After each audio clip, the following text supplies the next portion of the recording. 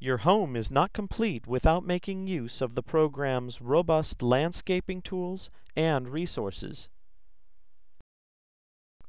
Start by creating an environment worthy of your dream home.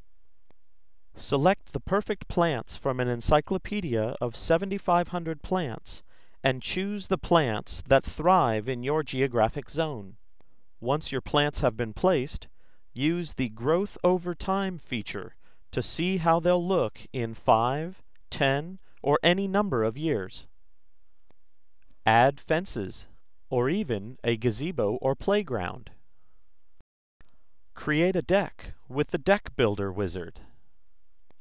Add everything from practical walkway lighting to backyard accent lights. New and exclusive only to 3D Home Architect is the 2D Designer's View, so you can work with an accurate top-down representation of plants and flowers.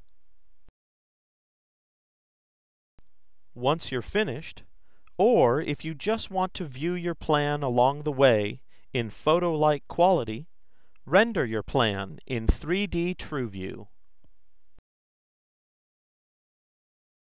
You can view your plan at different times of day or night.